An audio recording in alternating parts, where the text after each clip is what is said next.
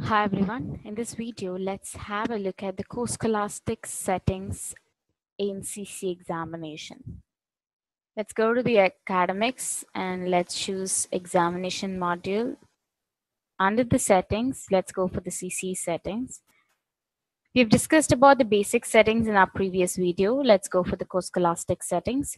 Under co-scholastic settings, the first thing that you find here is called co-scholastic remark settings. Here we're going to choose one among this formula. The first one is to choose from the remarks set. We're going to choose from the custom remarks for each of these observation groups while we enter the scores. And the next one that we have is the auto populate of the remarks where it should auto-populate the remark from the list of descriptive indicators in the observation. You can choose either of these setting and save it. And once these remark settings are created, you're going to go to the co-scholastic items. We're going to create co-scholastic items. We're going for co-scholastic items and selecting the option new. We will create every time the observation groups that we want to create. So as you can see, I've created an observation group called Thinking Skills.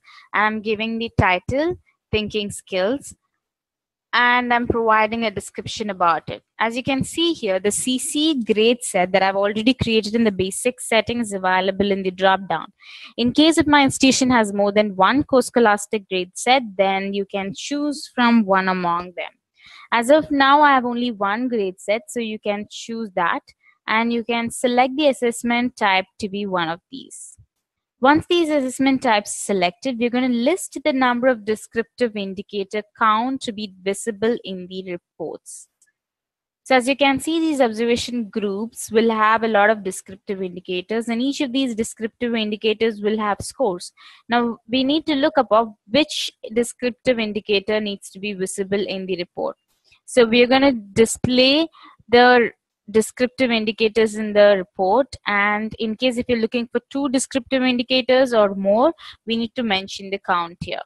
And once these observation groups are created you can select these observation groups and create observations inside these. You can list as many observations that you want to create by providing a title and a description. And once these observation groups are created the last thing that we will do in this workflow is to create descriptive indicators, and remarks. Here is where we create the new indicators that we have for these observation groups. We'll create new indicators and we're going to mention the name of these descriptive indicators. And once we've created this, we're going to add remarks by going for add remarks. And by adding remarks, you're going to mention the different remarks that you want to give. This is one of the remarks. This way we can add different remarks that we want to provide for these co-scholastic grades.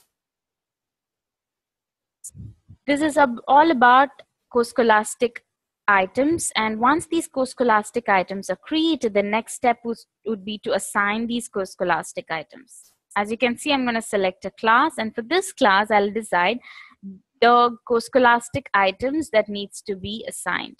The observation groups that you create in the previous setting will be displayed here and you can choose the one that you want to assign and save it. The last setting that we have here is an observation code setting. The observation code settings will allow you to provide a code for your observation groups. As I can select the class, I can see the different observation that you find under your CCE report. And each of these observations can have a code like a subject code. So as you can see for one of my observation, I've given a code here and this code will be provided in our CBSE report. Now, once you can save these code, the observation are represented with the codes in the report. So this is all about co-scholastic setting. Thanks for looking to this video.